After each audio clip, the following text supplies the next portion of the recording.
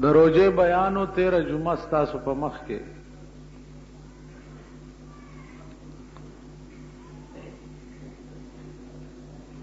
د هغې متعلق یو څو خبرې پاتې وې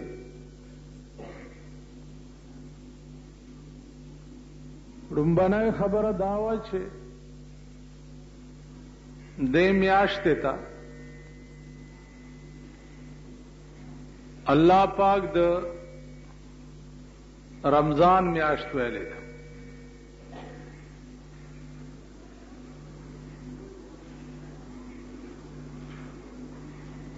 علما وایي چې په دې میاشت کې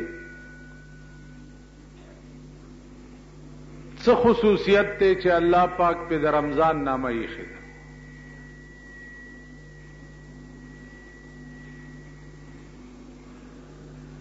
او رمضان وای څه شي ته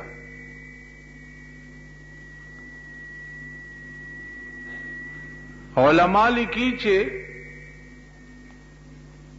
رمضان د یو کانی نوم دی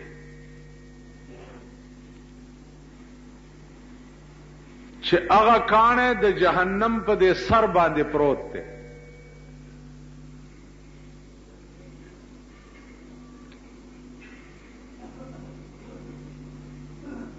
کال کې یو ځل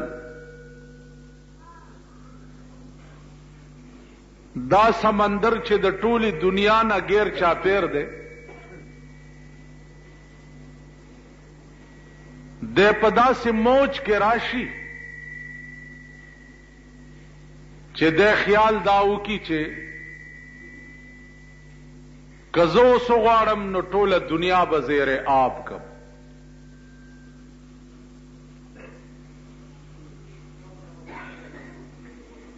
نو کال کې چې د دې موج کې راشي نو هغه کاڼی چې کوم د جهنم په سر پروت دی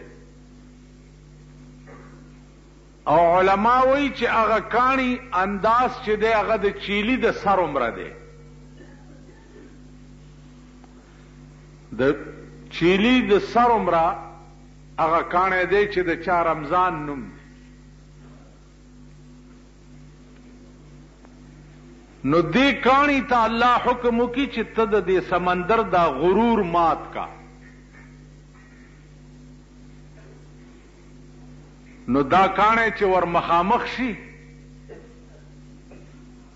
نو دا سمندر یو چس ناری کی او ختم شي او په ځای باندې کینی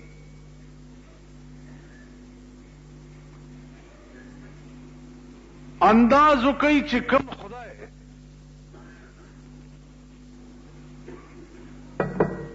د سمندر غرور د چيلي د سر عمره په کاڼي ماتي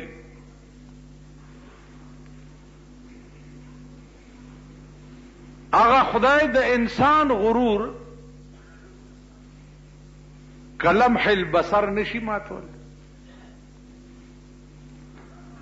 انسان به څه يي او د هغه غرور به څه يي؟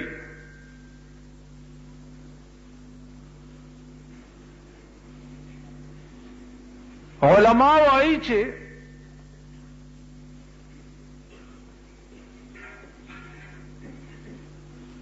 د رمضان سره څه مناسبت ته د روزه سره وایي مناسبت دا دی چې لکه څنګه کال پس د سمندر غرور الله د رمضان کاڼي په وجې باندې مات کی او ختمي کی نو په دې روژې میاشتې باندې الله د رمضان نامه دې د پاره کېښوه چې د یوولسو میاشتو ګناهونه په دې میاشت کې چې الله توفیق سړی ته ورکړي او منځونه او روژې په صداقت سره ونیسي نو د یوولسو میاشتو ګناه داسې وخوري لکه رمضان کاڼی چې د سمندر غرور خوري.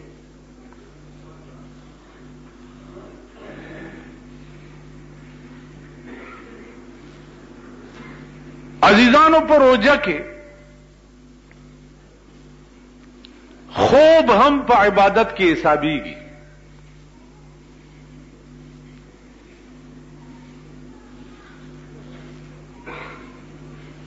چپناستا هم په عبادت کې حسابيږي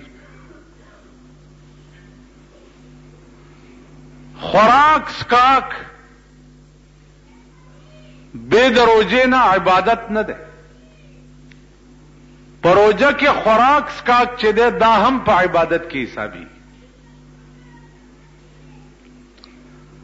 اوس داغه خلقو حال به څه وي چې کوم خلق ټوله ورځ ناستی تاش کوي او وایي چې روژه مشغوله یا ټوله ورځ ناستی د کرکټ میچ ګوري چې روژه مشغوله وو یا وی سی آر لګولې او आवाज کوي چې روزه مشغوله وو کوم روزه چې په دمتوب او کنجرتوب باندې مشغوليږي داغه روزه حشر او داغه انجام بچي د داسې مثال دی لکه خر تخله وتړي چې ماده باندې نن روزه نیولې د روزه ځان لسه کیفیت دی، د هغې ځان له څه خصوصیت دی، د هغې ځان له څه شان دی. عزیزانو یو خبره باریکه غوندې ده، خدای دې وکړي چې زه تاسو پرې پوه کړی شم.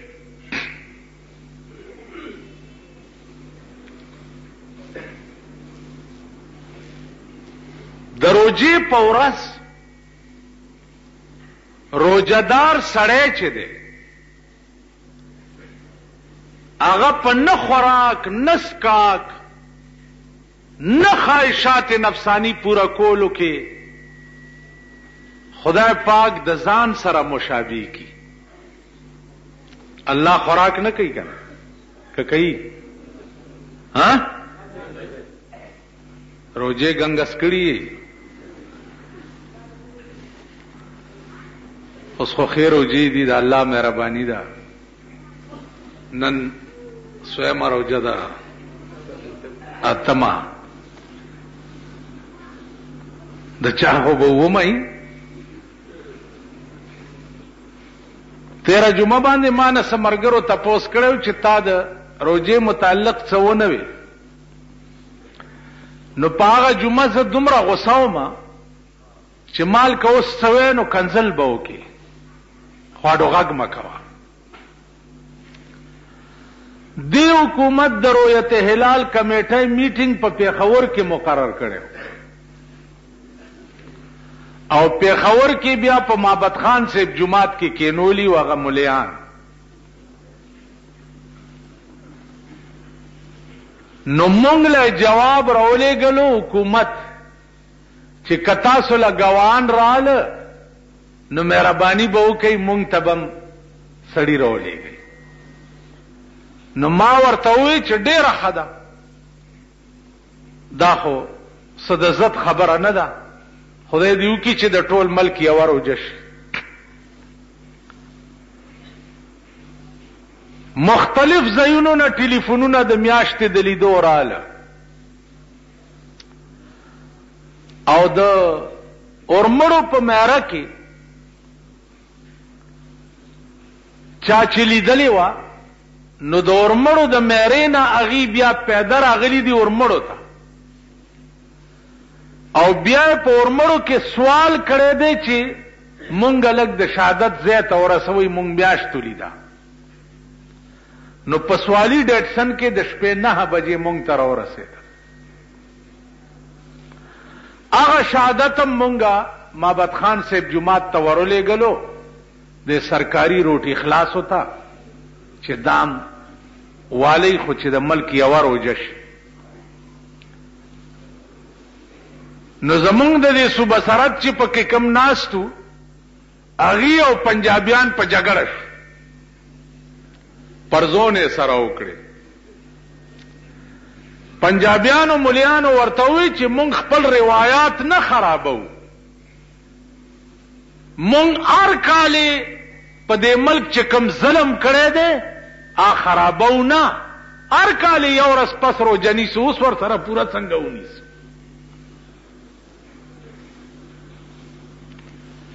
نو ویلې واک آوټ یې وکړ. تاسو د خدای په هغه قهر واړوه چې د هغې نه بل سخت قهر بل نه وي. واک آوټ څه معنا ده؟ او صدارت یې کولو د پاکستان د مذهبي امورو وزیر هغه به صدارت کولو نو پیښور ته په عمر کې چې هلال کمیټي جوړه ده نو په پیښور کې دلته میټینګ نه دی کړی نو چې رای وړه نو اومم درې دړای غول وکړه دا د دې خلکو حال دی چې شمدید ګوان موجود او بیا په شرمونو وشرمیده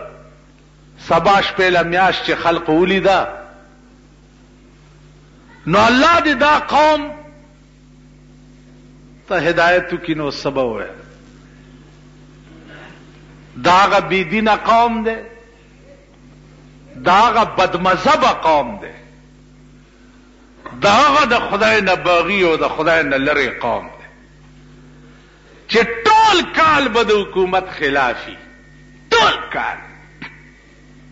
حکومت نه انچ کیته حکومت نه انچ کیته حکومت نه انچ کیته په خار ته چې ورنه ودی انچ کیته انچ کیته انچ کیته انچ کیته دغه غل بخوري لګیا وي او چې اختر او روزه راشي لکه روزه ولې نه کې وای حکومت اعلان نه دی کړی. حکومت ته که پره وچیچه نو حکومت کې خو اسلام شته نه نو حکومت به اعلان د اختر او د روژې څه کوي. اوس بېنظیره نه به مونږ د روژې توقع کوو. چې هغه به د روژې اعلان کوي نو بیا به مونږ چې دی روژه نیسو یا هغه مور چې د هغه به د روژې اعلان کوي نو بیا به مونږ روژه نیسو و په شرمونو شرمېږئ و په شرمونو شرمېږئ د حکومت وی روژه نه وه حکومت روجی نیسی کم ځای دی اټک پل نه واوړه په خدای قسم چې د روجی میاشت ته ډوراخیږي نه تاسو ټرای وکړئ د اټک پل نه واوړه د روجی میاشت ته ډوخیږي نه پنډای ته ورشه لاهور ته ورشه کراچۍ ته ورشه په دغه ټوله علاقه کې ګرځه د روژې میاشت نه وي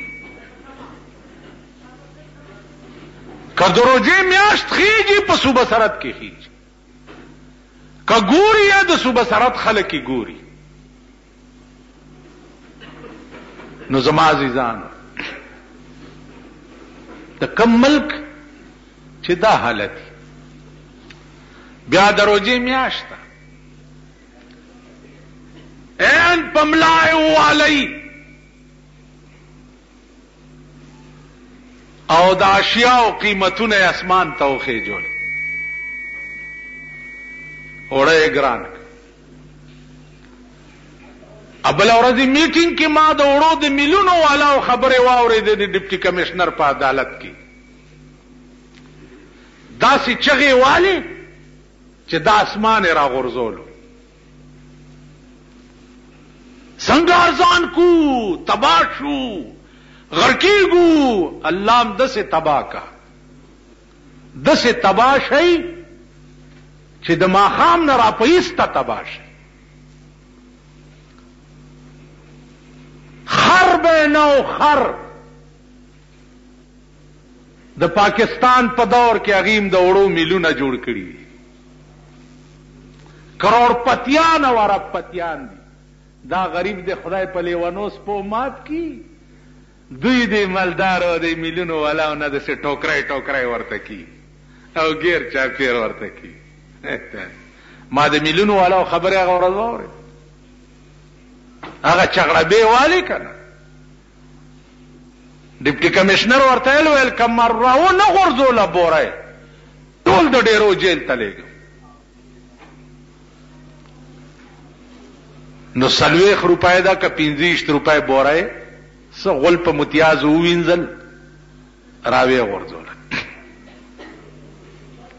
نو ما پکې څو ما وې غریب نن به یی خو په روپۍ روټۍ خرڅه کړه نو تین بټه چه فوډ کیم جیل ته واستولو او سرمایه دار اوړه ګران کا دی به ولې تین بټه چه فوډ کې جهنم ته نزي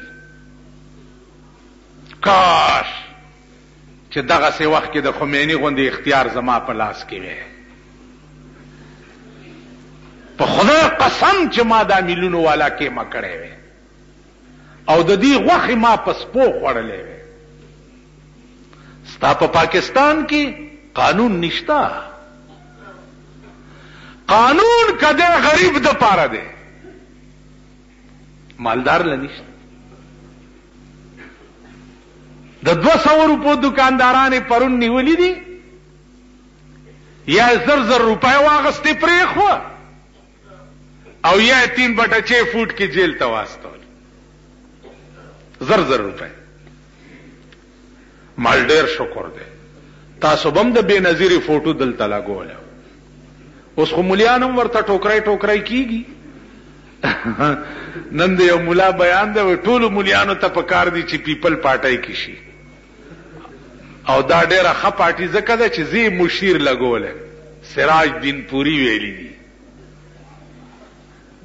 مالدل انوړای ورکړی دا ادمي نور جمال کیسه ده او چې کوم ملا لنوړی خولې ته ورسېده پاکه بي بي شوه کوم ملا چې چاله لنوړی نه ده رسېدلې هغه له غوندې اوچت ټیټ کېږي او چې نوړی چا ته ورسېده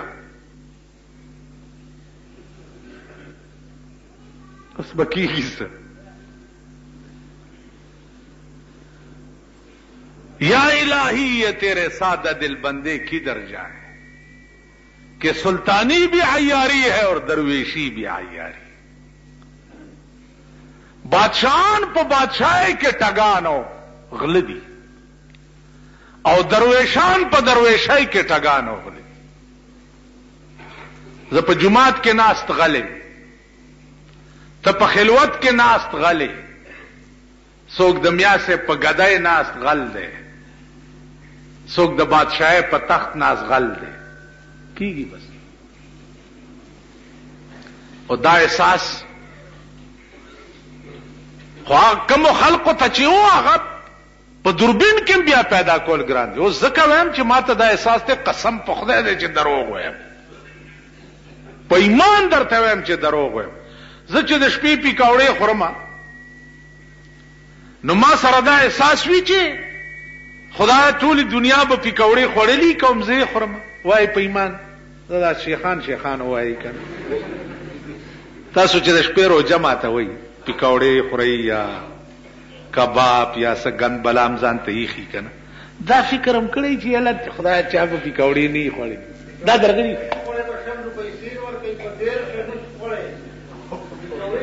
ځان یادوم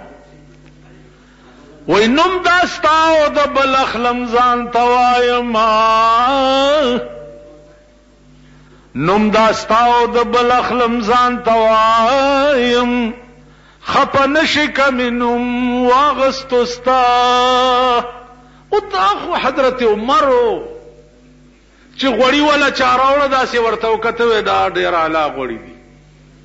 خو زما دې د خدای په ذات قسم وي که دې غوړو ته زه خوله ور وړم تر هغې پورې چې تر څو راته دا پته نه وي لګېدلي چې ټول قوم غوړي خوړي دي. او دا ایمان به چا ملا کې وګورئ، پیر صاحب کې به وګورئ چې لوپټه یې په سر کړي دعا نه به مې نه وباسي، لاس والا چې ګرم کې دعا نه به مې نه وباسي. په آرام کښېنه، هغه چې دوا لګېدی تا ته به یې لاس نه نیولی. دا درنه پوښتنه کړې چې خنزیر بچیه دا پیسې دې کوم ځای نه راوړي؟ د پوډرو سوداګرې که چېرته ښځې سپلۍ کې د سور زویه که شراب خرڅوې دا پوښتنه کړې ما تا نه چې دا پیسې دې کوم ځای نه راوړي چې دا ماله دې شل زره روپۍ زکات راوړو پنځوس زره روپۍ زکات دې راوړو دا د سور زویه دا دې کوم ځای نه راوړو؟ د پوډرو سوداګر دي هغه پیسې به راوړي ور به یې کړي چې په دې ختم وکړي، پیره مې لېږلې ده چې خدای پاک یې په خیر کامیاب کړي. بیا دې خنزیر حکومت کې یو پوډري به ژوندی پرې نه دم یو پوډري ته به مانه د کروڑونو روپو کور کې اوسېږي دا دې کم ځای نه راوړي دي نن دیکبال د غریب شورو دی د مالدار نشته الکه نن نه لس کاله مخکې ته د کرای کور کې اوسېدې اوس ته په پچپن لاک بنګله په یونیورسټۍ کې واغسته دا پیسې دې کم ځای نه راوړې ولې نن نه شل کاله مخکې دې د روټای درک نه لګېدو نن عرب پتی ته دا پیسې دې کم ځای نه راوړې مونږ سره سړې وظیفې په دې جماعتونو کې خوړلې دي په دې جماعتونو کې ورشنن عرب پتیان دي مونږ هغه سه ډنډا ګولای کو خیال برا ولی وہی ہم کو تو میسر نہیں مٹی کا دیا بھی اور گر پیر کا بجلی اور چراغوں سے ہے روشن چا ته خو د دروټه درک نه لګیا او د چا کور کې د چراغان جوړي ولی د ایران خمینی وګوره په مدرسه کې ناشتي په درای باندې و چې خبر ورشي چې پلاني سړی دا چل کړي دا ورته بزنه مردار کوئی کافر را به چې ګورې بیا یې توپ یې ته تړلی او غړمپ شي. بس غوښې یې پاس په هوا کې مارغان وخوري. ورګه چې ته په یو ورځ کې اتیر ورځو کې دوه سوا د منشیاتو کاروبار کولو والا یې پانسي کړ. دوه سوا دلته چې ونیسي اف آی آر دی بیا بغړنجیږي بیا بکړنجیږي بیا به صاحب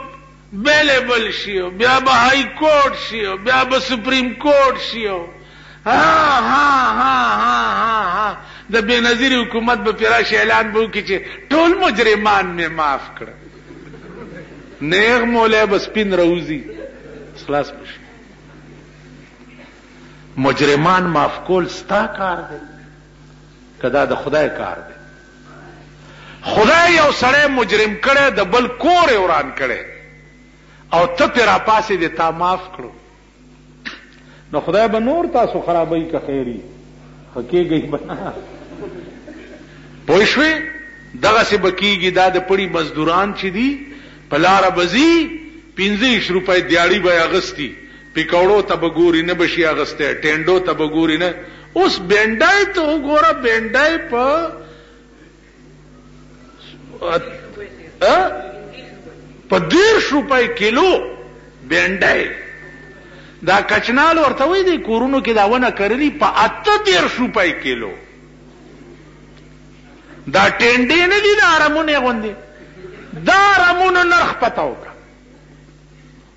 سره باټینګړ خو خیر ډیر اوچت شی دی اپا دغسی به شی ته ګوری ړه به دی چوی اغستی به نشی ښځه به درته وایی چی بړوا چی ساتلی دی نشوم کولم دی ولی ته پوه شی په خبره نو هره ورځ به درکې نوې نوې ستنې نه نوځي نوې نوې ستنې دا قوم د قوم خدای رانیولی دی قوم د قوم او ان شاء الله نور به رانیسی نور به رانیسی تاسو به تماشې وکړئ د ځان هغه ورځې در باندې راتلو والا دي چې خپلو کې به په یو بل چکونه لګوي د بنی اسرائیل هغه عذاب به در باندې راځي چې خپلو کې به یو بل چیچی او خپلو کې به یو بل وجنی دا قوم د قوم خدای رانیولې قوم دی زما عزیزانو روجا په خپل ځای ډیر اوچت شی دی لیکن روجا یوازې دا معنا نه چې روژه دې ونيوه په رمضان کې او د رمضان کاڼی ستا د يوولسو مياشتو ګناه ته مخامخ شو، ټولې يې وسوځولې او اوس پرې بيا دې څه خوښه ده هغه کوه. د دې دا مانا نه ده. دې وجې نه عزيزانو جناب رسول الله صلی الله علیه وسلم فرمائی چې الله پاک د هغه قوم حال نه بدلی چې کم قوم خپل حال په خپل نه بدل کړي هر یو قوم به خپل حال په خپل بدلی الله بستا حال نه بدلی نن زمونږ د ملک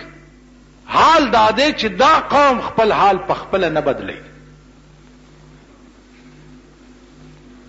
نو نتیجه به څه نتیجه به رسوایی او ذلت وي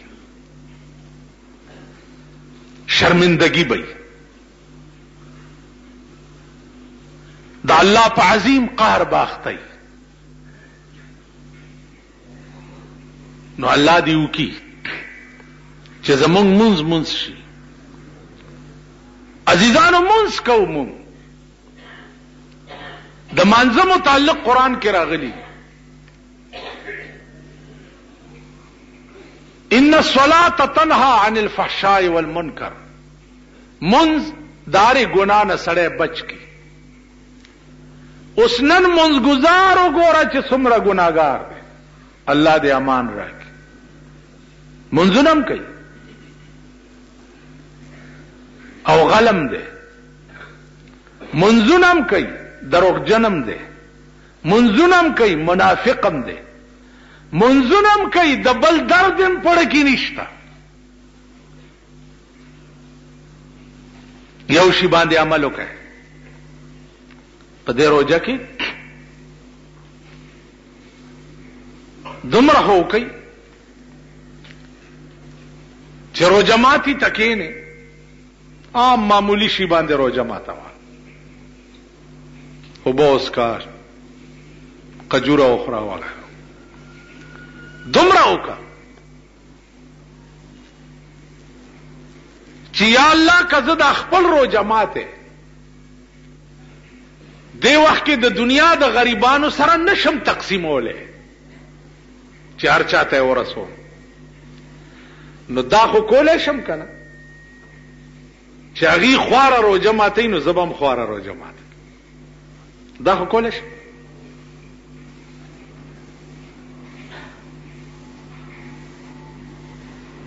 هغه سنت باندې عمل وکړي چې یو بزرګو په جمی کې به جامې وويسته او د جمعات په صحن کې به کېناست نو مریدانو ورته وی چې صاحب دا ولې په دې یخنۍ کې ځان دا کوي؟ ویل بچیه داس چل دی چې جمعې دی او په دې جمعې کې به داسې خلک چې بستره به نه وي کمبل به نه وي یخنۍ ته به ناست دي نو زه دا نه شم کولی چې د خپله بستره او کمبل په ټولې دنیا په غریبانو تقسیم کړم دا نه شم کولی نو دا خو ګولی شم کنه چې د هغې غوندې یخني زه په ځان هم تېره کړم تاسو خیال راغی د هغې غوندې یخني په ځان هم تېره کړم نو مونږه دا په وس کې نه دی اوس چې د ملک حالت دې تراولو چې ار غریب چې دی هغه دی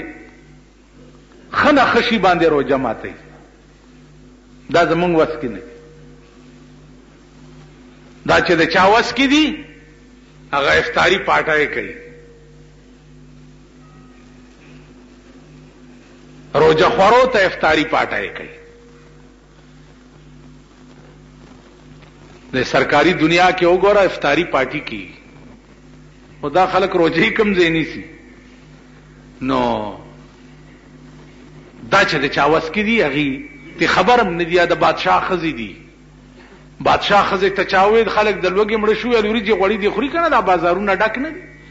اوس هغه پودړې ته دا پته نه و چې دا خو په پیسو کیږي هسې خونه کیږي هغه دا خیال و چې دا په بازارونو کې دا ډیری لګېدلي د وریجو او د غوړو دا به جوړ اسې کی ځکه چې د بادشاه ښځه او هغې چېرې په بیه خو څه شی اخیستی نو نو د دې وجې نه عزیزانو نیت دا وکړئ چې خدایا زمون هر ادا نه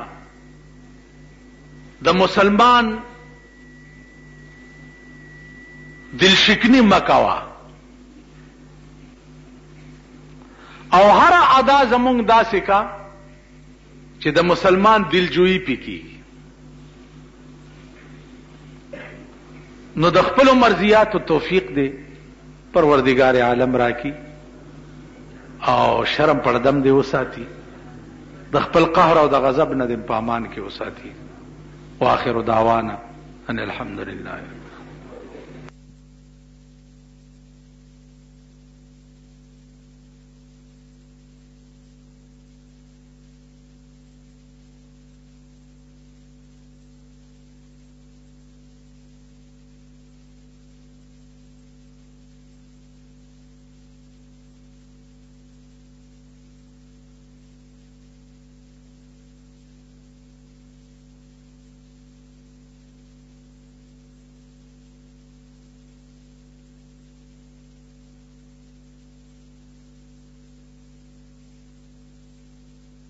دا مغه زوړ باس ته بیا رالو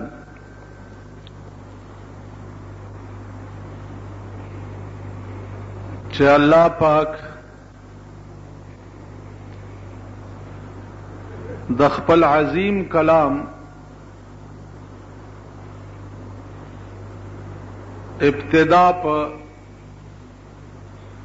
حمد کړی ده.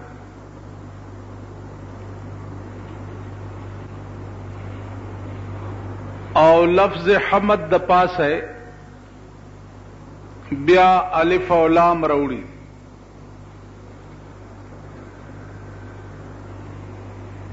عزیزانو دا قسمه الف لام چې دي دا عربي ژبه کې په څلور قسمه راځي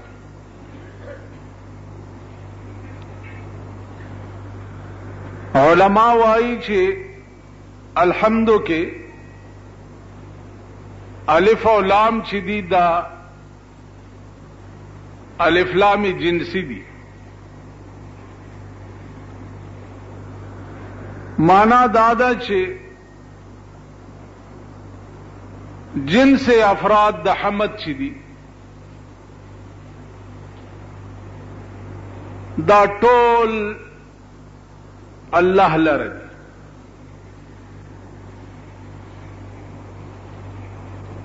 الحمد لله تمام افراد د حمد چې دي دا ثابت دی الله لره یعنی بل څوک په دې کائنات کې قابل د تعریف نشتا که قابل د تعریف دی نو صرف د الله ذات دی ځکه چې همیشه د پاره تعریف چې دی دا د حسن کیږي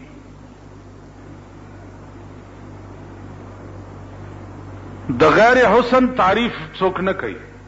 د بدرنګ شي تعریف څوک نه کوي تعریف همیشه د خسته سي کی او خسته چې ده د الله نه سیوا بل څوک شته نه صبغة الله ومن احسن من الله صبغه د الله نه زیات حسین بل څوک نشته تاسو بداو وای چې الله چې ارڅومره حسین دی خو موږ لیدلی نه دی. په دې دنیا کې تاسو وګورئ څومره حسین حسین څیزونه دي په دې سپرلی کې وګوره بار مېرو ته چوزې په دې ځمکه د پاسه داسې د ګلونو صادره غړېدلې وي چې عقل ورته حیران شي انسانانو کې وګوره دومره ښایسته انسان به یي چې عقل ورته حیران شي نو حسن خو په غیر الله کې هم شته انسان وګوره ډېر حسین او جمیل وي الله نه دی او خسته وي داسې په دې کائنات کې نور اشیاء وال عزیزانو دلته دراز خبره داده چې هر شی چې خسته وګوره دا خستواله د دې شی بذات خستواله نه دی بلکې دا د الله د حسن یو جلک دی چې د ده په مخ کې ایښی دی. ما په خبرو پوهېږئ؟ نن پنځلسمه روژه ده او پاتې خدای خبر چې دولس دي که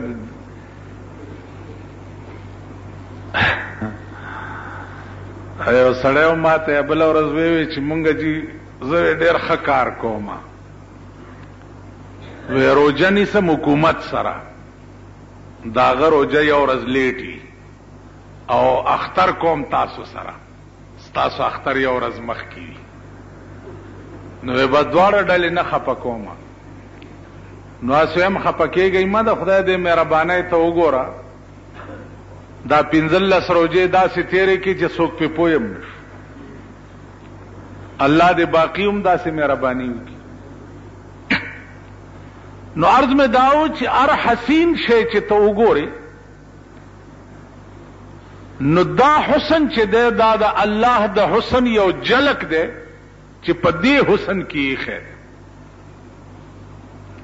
دا چا ویلي دي مولانا روم وایي چې حسن خیش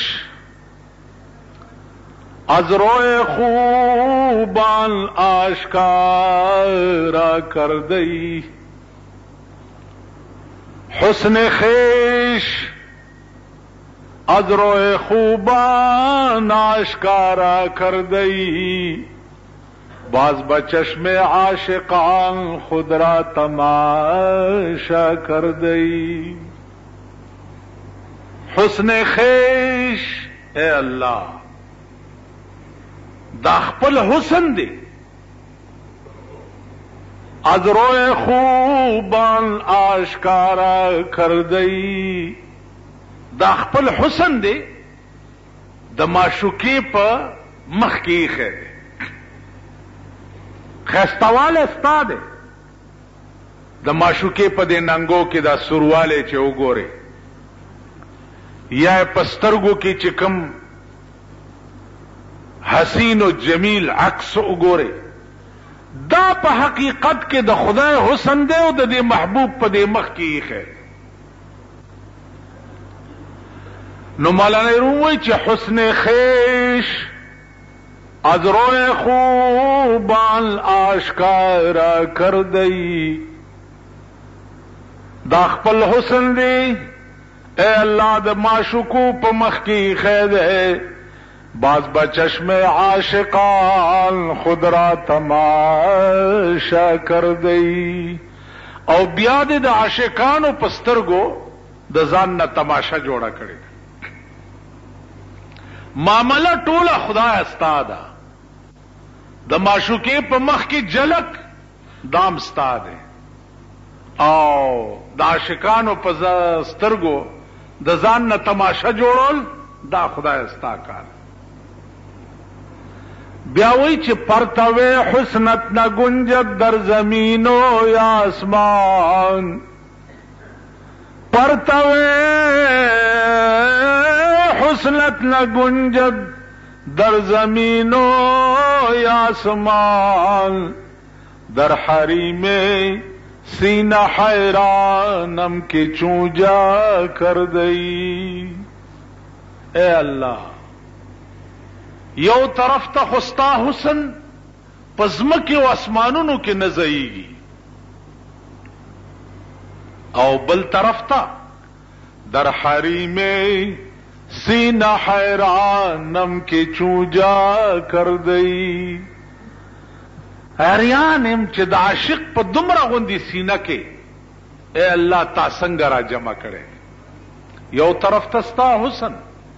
ځمکه او اسمان د هغې تحمل نه شي کولی او بل طرف ته دې د عاشق په دومره غوندې سینه کې را جمع کړي. نو زما عزیزانو عرض دا و چې په دې کائنات کې څومره ښایسته څیزونه وګورئ نو دا ښایسته والی په حقیقت کې د خدای ښایسته والی دا د ده بذات حسن نه دی ځکه چې هر موجود دا دال وي په موجد باندې او هر حسین دا دال وي په محسن باندې هر حسین چې ګوره نو ذهن به دې طرف ته بوځي چې یو بل محسن داسې شته چې دا حسینې پیدا کړي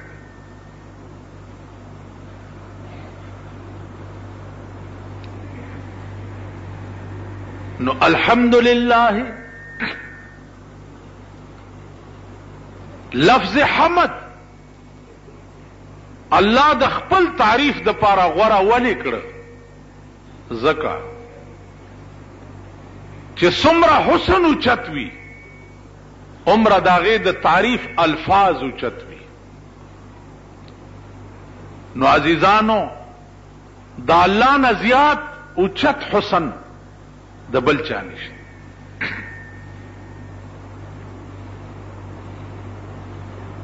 او ان شاء الله العزیز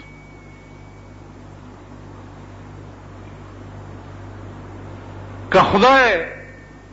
کرم او مهرباني وکړه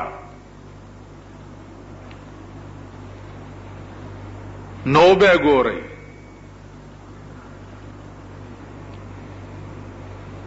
او داسې به وګورئ چې په شواروزونو به بیوش پراته یي په یو کتو سره او بیا به تقاضا وکړي چې خدایا په دې ستا خدايي کې هم هېڅ نعمت نه دی په کار، خو چې دا مزه یو ځلې بیا وي، دا به وګورئ.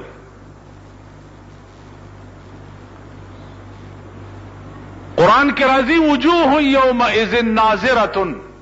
الی ربها ناظره، ډېر مخونه به په دغه ورځ تازه وي او خدای ته به ګوري. سردار کونین صلی الله علیه وسلم نه صحابو تپوس وکړو چې یا رسول الله مونږ چې په قیامت کې خدای ته به ګورو نو موږ ته به څه تکلیف خو نه کېږي؟ نو الله ورته وفرمایل چې د څوارلسمې سپوږمۍ ته چې تاسو ګورئ تکلیف درته کېږي؟ وې چې نه. وې الله ته به داسې ګورئ لکه د څوارلسمې سپوږمۍ ته چې سړی ګوري. نو عزیزانو هغه خوند او هغه مزه به په قیامت کې وګورئ تاسو. چې د دغه ذات د لیدو څومره لوی خوند دی او څومره لوی مزه ده تاسو سوچ وکړئ د ورځې په دې روزه کې سړی لګیای داسې پلار رواني سبزی دکان ته وګوري نو شنه پیاز وګوري چې هوی دا خو چې داسې غوښه کې ښه ښه مزیدار نری نری پرې کې او غوښه پکې سره کې او بیا لګه چټنی ور سره او کې او بیا لګه ها چار ور سره او کې او بیا لګه کنه داخله ټوله ور داسې په مزه مزه کوي په دې باندې ان دا غرو جماعتي ټیم بیا درو جماعتي په ټیم کې د الله د رحمت د باران تقسیم شوی چې روژه دارو ته څومره روژه ماته پروت دی نو زما د رحمت څاڅکي پکې وکړي. تاسو خیال راغی نو عرض مې دا و عزیزانو چې دغه سبا د دنیا په ژوند کې د سړی هوس وي چه خدایا ستا دیدار نه ما محروم نکی او ستا د حبیب شفاعت نه ما محروم نکی په قیامت کې دوه سيزونه چې درته نصیب نشونو عمر لا تباش وي او عمر لا غرق شوي یو د الله دیدار چې درته نصیب نشو او یو د جناب محمد رسول الله شفاعت چې درته نصیب نشو نو عمر له غرق شو. د جنت لویه مزه به دوه وي، یو په جنت کې د خدای دیدار او یو په جنت کې د رسول الله صلی الله علیه وسلم په خوا کې اوسېدل. د دغه نه اوچته مزه او اوچت مقام به د هیڅ جنتي بل نه وي چې چاته د خدای دیدار نصیب شي او چاته د رسول الله صلی الله علیه وسلم په خوا کې اوسېدل نصیب شي الله دې دا دواړه مونږ ته نصیب نو عرض مې داو چې لفظ حمد الله د خپل ذات د تعریف د پاره دی وجنه مختص ک چې الته ممدوح چې ده دا د ډېر لوی شان خاوند دی نو د دې وجې نه هغه د تعریف د پاره لفظ چې دی هغه هم ډېر اوچت منتخب کړی شو لله جار و مجرور متعلق دی په ثابتن پورې تمام سنا صفتونه دا ثابت دي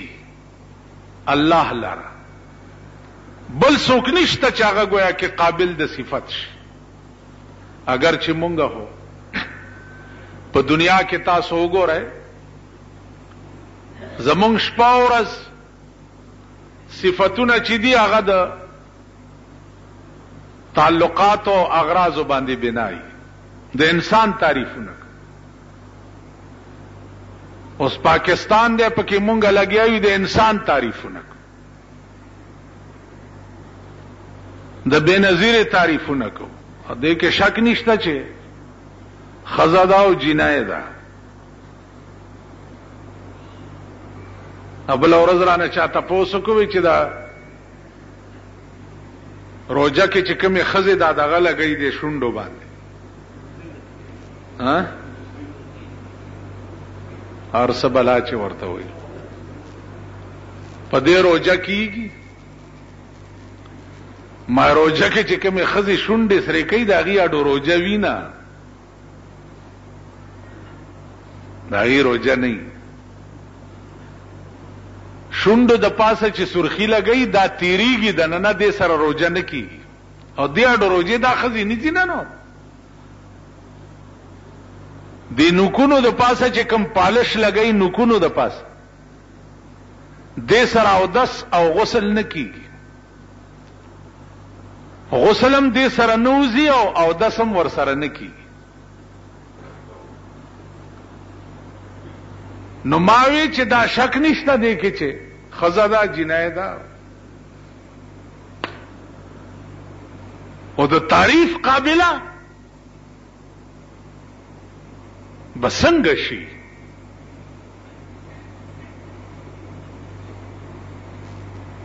چې په دې ملک کې قوم دوکه په دې کړو چې همارا عزم غربت کا خاتمه زه به ددې ملک نه غريبي لرې کوم دای ویلیو کنه زبد دې ملک نه غریبی لري کوم نو دا د بے لګامه قوم او د بې مواره اوښ زامن قوم چې دي ورپسې شو. اله سه یو هڼ هڼ جوړ دی.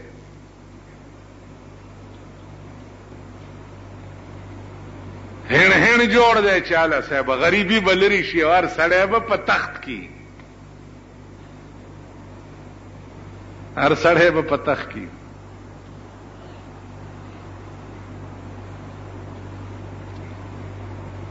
د وینځه زویم وینځي غلام وی د وینځه زوی مالک کیږي نه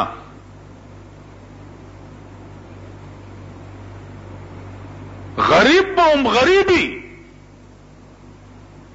چې دا خدای غریب کړی دی او خدای ته غربت لري نه کی دنه بنده غربت لري کولای نشي دا بم غریب وي نو نننه بیان دی چې آینده بجټ به ډیر سخت وي او قوم ته ورته تیار اوسېدل پکار دي آینده بجټ به ډیر سخت وي او قوم ته ورته تیار اوسېدل پکار دي بجټ سخت سمانا په دې پوهیږي بجټ سخت دا معنا چې اوړه به نور ګرانیږي غوړي به نور ګرانیږي بجلی به ګرانیږي سوی ګیس به ګرانیږي کپڑا به نور ګرانیږي بجټ سخت آمه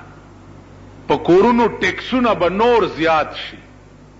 انکم ټیکسونه به نور زیات شي بجټ سخت دا مانا ده یو طرف ته افراط زر وګوره غریب انتهایی تباہ او برباد وګوره اوس په دې روزه کې غریب ته په کټوای کې سره باټینګړه چولم نه نصیب کیږي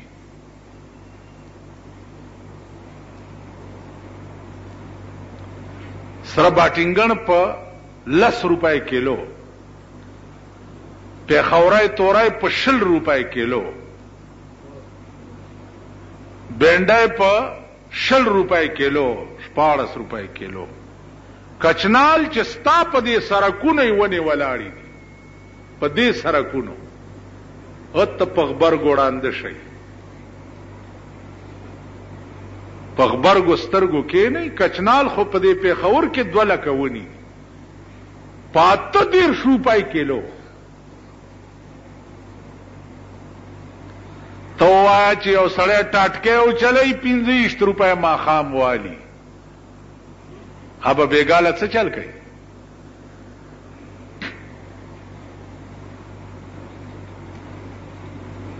اوس دا لا کم دی وي د قوم ته نور تیار اوسېدل پکار دي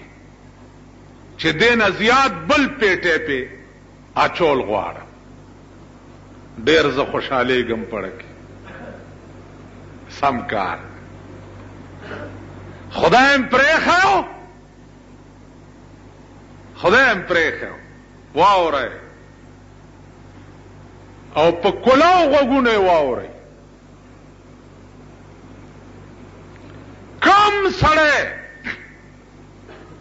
چې د الله اسره پریدي او د بنده اسره واخلي هغه عمر له تباش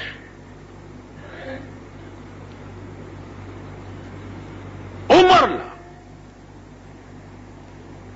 یوسف علی السلام په جیل کې یو سړی ته ووی چه تا سره می دا پلانای نیکی وکه خو که جیل نه ووته نو زما شپارس لک بادشاه ته وکه الله ورته وی یوسف ته چه خا پتا خانو کې د مان امداد غوښتنو بچ میکړي او په جیل کې د بل سړی ته ویلي چې زما شپارس بادشاہ ته وکړه په خپل ذات مې دې قسمي که دې پرېږدم نو اډر ورپسې راغی دولس کاله قید شو پیغمبران ذکریا علیه السلام د ونې نه پناه وغوښته د ونې نه نو چاره یې پې کېښوه دشمن الله ورته وی ذکریا ته چې کدی غږ وکړو نو د پیغمبرای د رجستر نه بده نامه وباسم نو په منځ یې دوه کو تاسو خیال راغی پیغمبرانو نه ته ماته وایه چې کم قوم الله پرېښی او د بنده اسره یې کړي د بنده هغه قوم د قوم به خدای تباه کوي سبا شپې له پېښور ته زمونږ وزیراعظم صاحبه را روانه ده له شل منټه به چې دا پې تقریر کوي هغه سټیج په څلوېښت زره روپۍ جوړ شوی دی څلوېښت زره او څلور منه ورته د ګلونو آرډر ورکړی دی چې هغه ګلونه به پې دا د شاخه تاخه زامن شیندي ګلونه به پې شیندي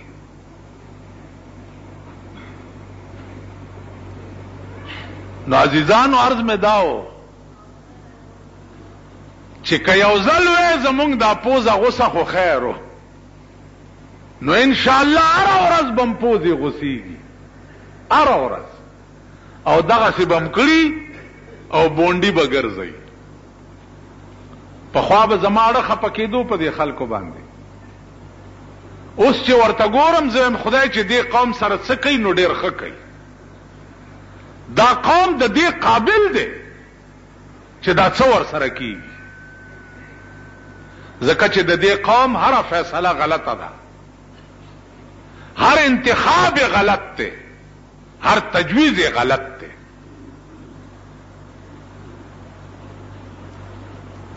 د دې وجې نه هغه لوی حسین او جمیل ذات تاسو پرېښو او په بنوټي حسن پسې لاړئ. دوه قسمه حسن دی. یو حسن حقیقي دی، فطري حسن دی. او یو بنوټي حسن دی. بنوټي حسن دې ته وایي چې په رنګ منګ جوړي پوډر یې مږلي دا کومې ښځې چې پوډر مږي او دا شونډې سرې کوي په مخ رنګ مږي د شپې چې وګورې ته به وایې چې واه واه د چین ښاپېره یې ده او سهار له چې وګورې ته به وایې چې چرته خره ده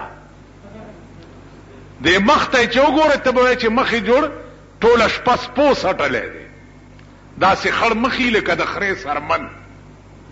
او د شپې چې دا پوډر موډر مګلي ته به چو هو د چین خاپیره دی او یو حسن فطری حسن دی که خیال وکړئ د دې دیهاتو فطری حسنی د دې کلو غرونو د دې خزو فطری حسنی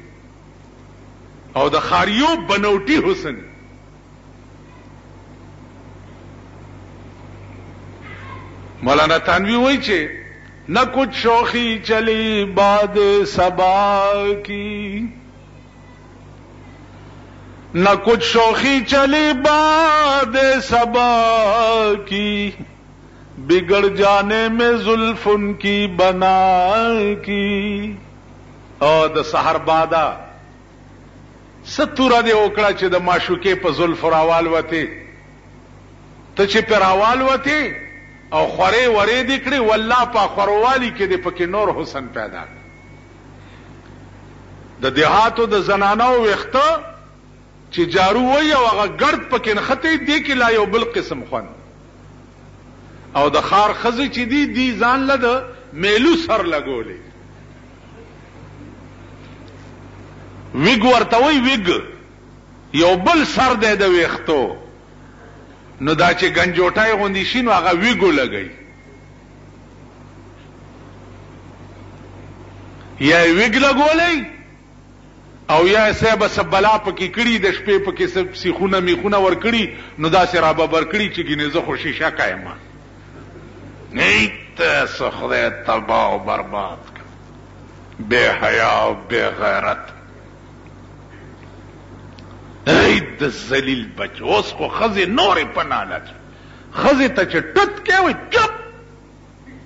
خزه باچا نه ده دا خزو که تاسو شاغوت نه کړئ نو زما په دا ګیره تاسو کړي بے غیرت او بے حیا قوم دا قوم دی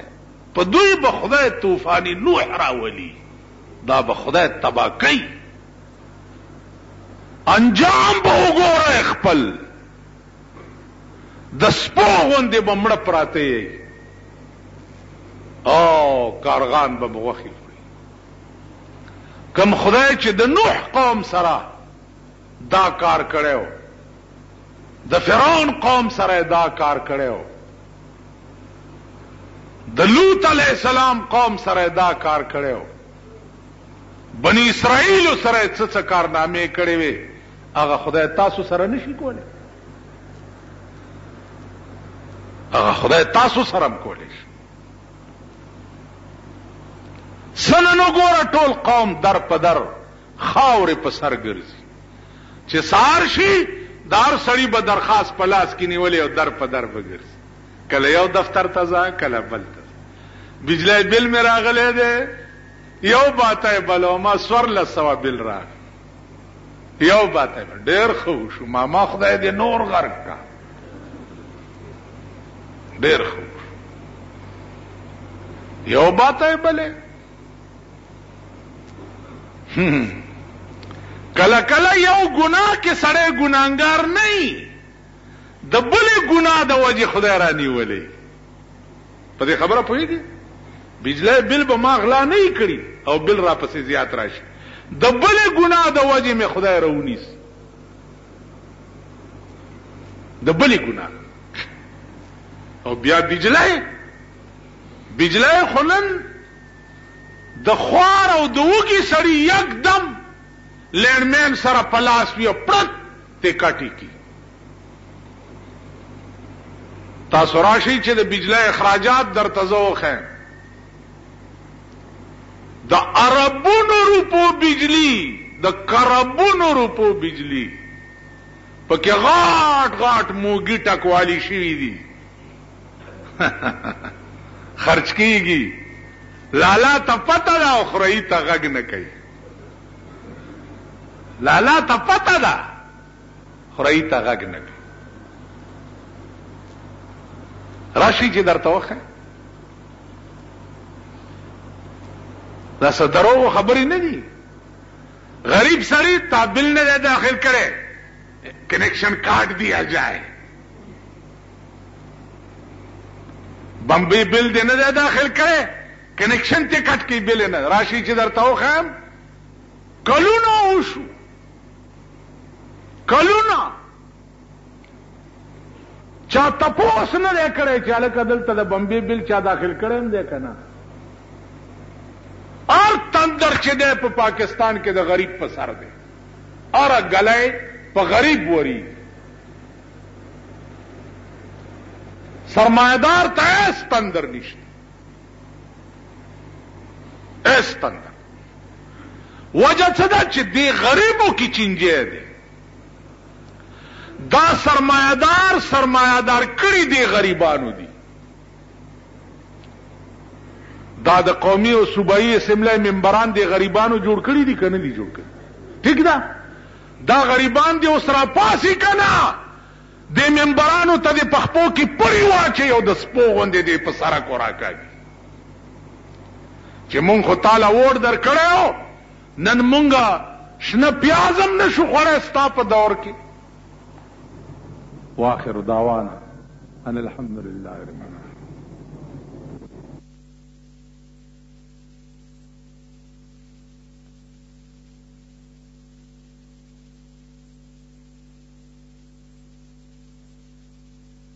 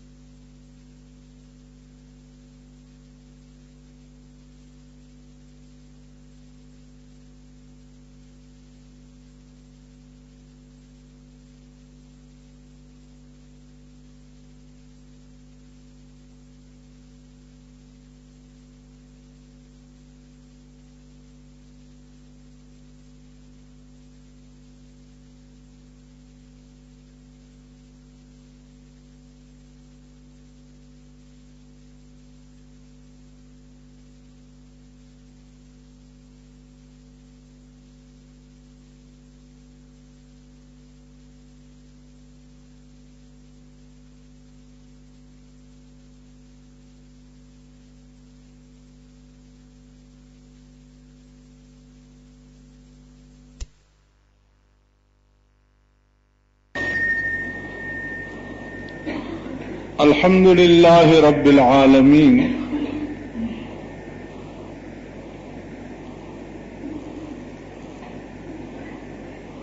الرحمن الرحيم كتاسو تيادي